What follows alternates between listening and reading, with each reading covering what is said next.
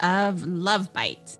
This one on how to manifest the love you most desire, in particular, calling love into your life. Because absolutely, you can manifest the love you desire when you're already in a relationship.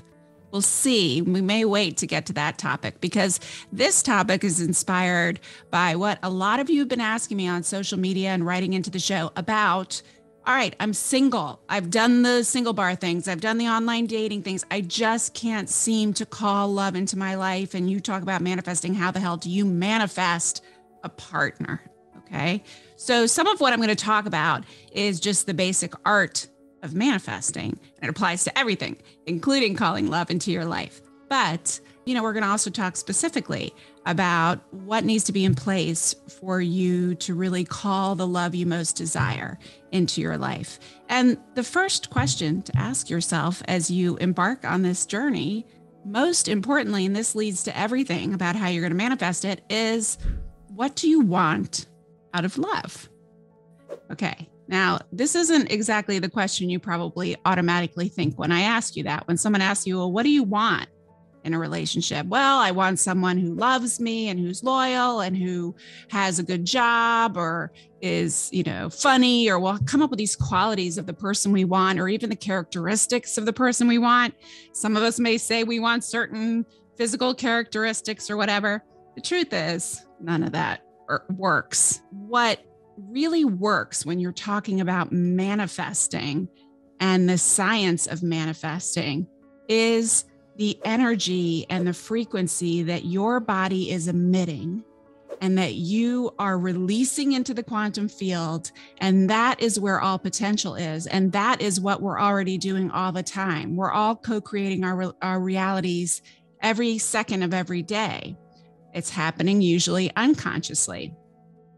And for many of us, we've been quote unquote trying to manifest love, but we've been going about it the wrong way because we've been thinking about what we want instead of how do you want to feel? Because think about it anything you've ever wanted or ever will want comes down to wanting a feeling. Somebody wants that fancy car. Why? Because of how they'll feel when they own that car or drive that car or whatever it is. Someone wants a certain job or a certain lifestyle or a certain partner or whatever it might be. It's all comes down to how we want to feel. And that's all that really matters. And that is the language of the quantum field. Because as you get clear on how you want to feel in love, and I'm going to help you do that in a minute, then you're actually, as you move into that feeling, and we'll be practicing, I'll show you how to do that on a regular basis, and you cultivate those feelings that you most want to feel in love into your life, not only is it fun because you're feeling a way you want to feel in love or not, right? But also, you are now moving into the energy of the feeling that you want to create in love, and you become, drumroll, a magnet for that. Okay. That's how you call love into your life. That's how you manifest. Now, I talk a lot about manifesting and quantum love. I talk about the science, I talk about the quantum fields. I, am going to not get into all of those details for the purposes of this love bite, but there are definitely lots of videos on my YouTube channel and on my website uh, that talk about this. So, getting clear on how you want to feel. The top two ways top two feelings if you were to wake up next to your beloved, your perfect person, every morning when you woke up, like how would you feel in that relationship? Would you feel playful, adventurous, safe, cherished, romantic? What would be the fundamental feelings inside you in this perfect love relationship for you? That is where you begin. Okay. Now, put a pin in that for a minute, okay? Because we're going to come back to the art of manifesting once you know how you want to feel in love. In fact, if you want to learn more and get really clear, if you're having trouble figuring out how you even want to feel, on the homepage of my website, there is literally a quiz I created for this purpose because this is how often I get that question. So go to drlauraberman.com and right there you'll see the quiz. What do you want out of love? And it will tell you based on 15 questions how you most want to feel in love. It's really cool. So definitely check that out if you're having trouble figuring this out on your own. before we can even get to the feeling part and the manifesting part, it's important to do the prequel, right? Getting ready for love. Are you really ready for love? And this is something that, you know, people say, sure, I really want love in my life. I'm ready for it. Of course, I want a partner. I want a companion. I want to travel the world. I want to have babies. I, you know, they have all these things they want. But are you ready inside yourself? And here's how you know you're ready. And this is kind of an oxymoron because it seems kind of not conducive to wanting love in your life.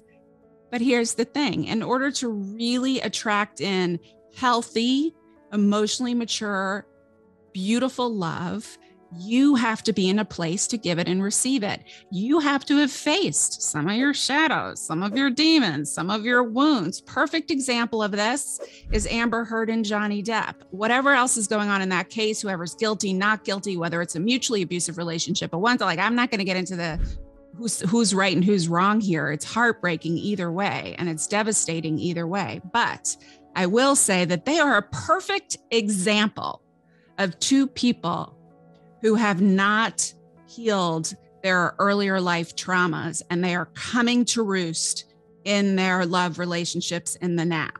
Each of these individuals are, are working out and playing out their childhood wounds with each other. Johnny Depp with Amber around his abandoning, abusive, unstabilized mother. So he attracts in, he doesn't deal with that effectively inside himself. He doesn't do the healing, he doesn't face those wounds, he doesn't allow himself to heal, he doesn't really do the work to heal. Welcome to the world. None of us feel like doing that work if we can get away with it, right? And then what happens? He is a magnet for and magnetized to people who are going to repeat that wound. Why? Because that's still where his energetic frequency is. But even psychologically, there's something that therapists call the repetition compulsion, which is how this same dynamic, or even better to use Amber as an example of this dynamic, her father is an addict. And all that came with that, with the codependence, with the managing that, with the worthiness issues around that, she then became a magnet for and magnetized to addicts and all that comes with addiction, even though that's the last thing she wanted and the last thing he wanted. The unconscious wish, and this is where the repetition compulsion comes in, the compulsion part is fueled by this unconscious wish that this time I'll get it right. So the part in this case, and I'm just hypothesizing, I don't know Amber and, and Johnny at all, but I'm using them as an example, right? So someone like her probably felt not enough or too much or you know as a child this is what the child thinks if i did something differently or I was more of something or better of something then daddy wouldn't keep drinking or doing drugs and daddy wouldn't do the things he did to mommy and all of that. The kid thinks everything's about them. They internalize that. They don't heal those key wounds. They don't really look into the belly of the beast and do that work. And then they're attracted to addicts because the unconscious wish is this time i'm going to get it right even though they end up not getting it right, you can't fix someone else. You know, it's not about your worthiness or your lovability, but you keep getting into these toxic situations, which then make your self worth worse and worse, right? So if you're really going to attract in and be attracted to the kind of love you want, you have to do your own healing.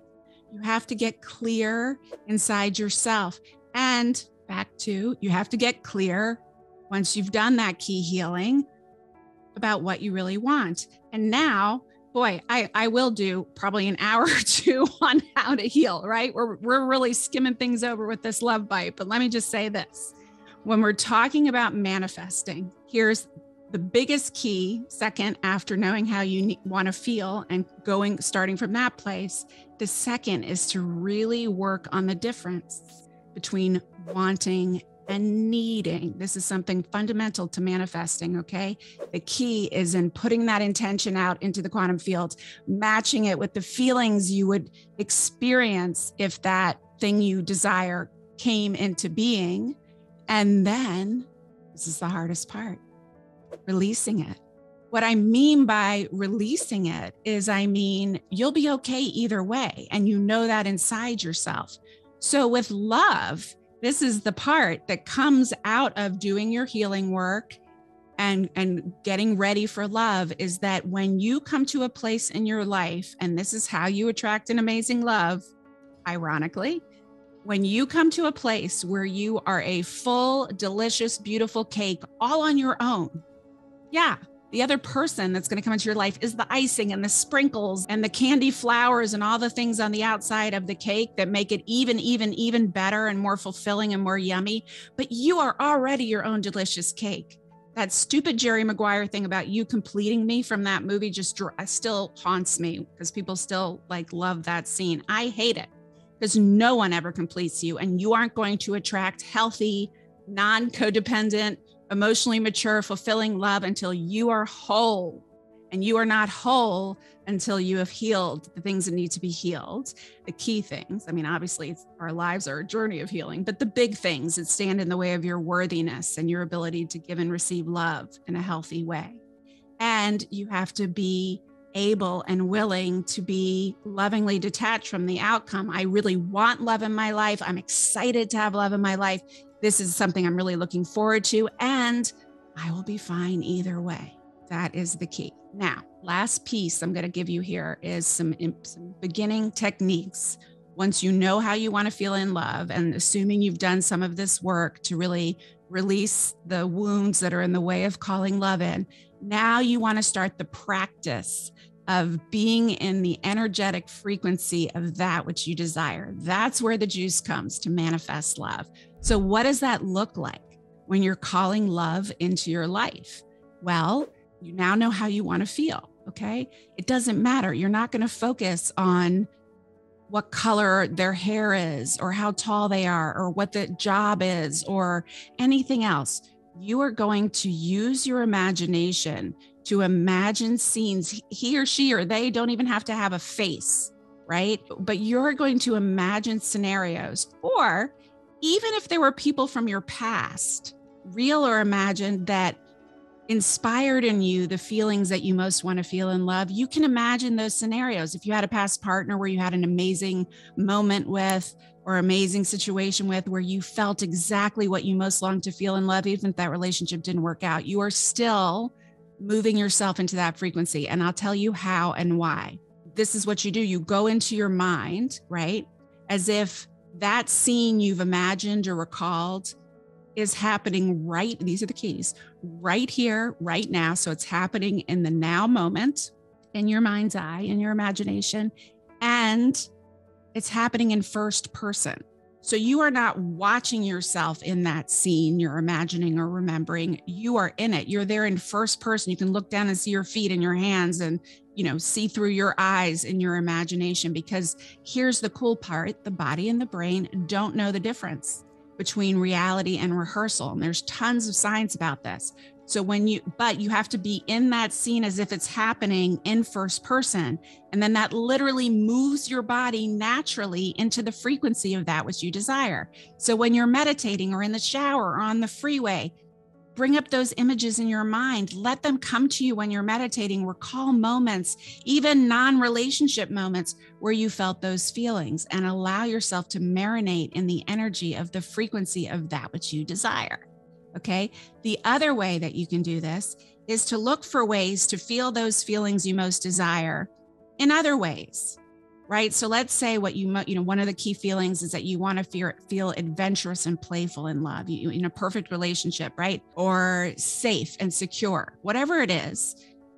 Look for opportunities that have nothing to do with love and relationships, experiences, activities, people that that create more of those feelings in you, right? So if you're looking for play, when you're walking down the street to the coffee shop and you see a playground, you're going to stop and jump on the swings or the seesaw, right? Or you're going to have a crazy dance party by yourself in your house. You're going to start cultivating play in your own life, right? If it's about feeling cherished, look for opportunities with your friends, with your family, with your colleagues, with loved ones who make you feel cherished and spend time with them or think about them or connect with them right? Because now you once again are are living and marinating in the frequency of that which you desire. So if you can do this you know several times a day every day and if you want to fast track it try to be in those feelings you most desire in life and love 51% of the time. And wowza do miracles happen. Okay. You don't even need to know how or why it's going to happen because the universe, God, spirit, you know, whatever we imagine or understand to be the power that brings these manifestations into reality has such a better imagination than you could and does such a better job. So don't get caught up in the details.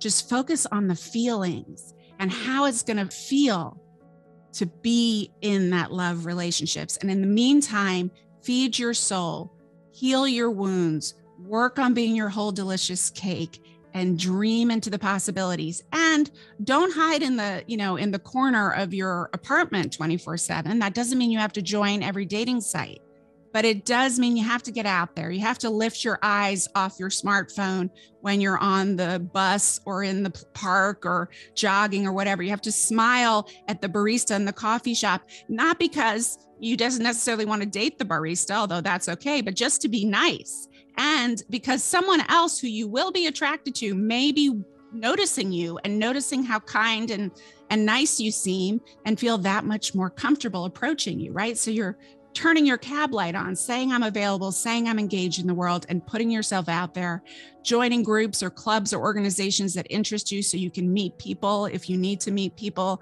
Reach out to the people you know to ask them to fix you up with someone they think you might enjoy and marinate in that feeling as much as possible. So that's your love bite on the language of love for manifesting love. If you want to learn more about healing those wounds to get ready for love, or any other question, these love bites are all about what you're asking for. And I'm always here for you to help you learn to love and be loved better.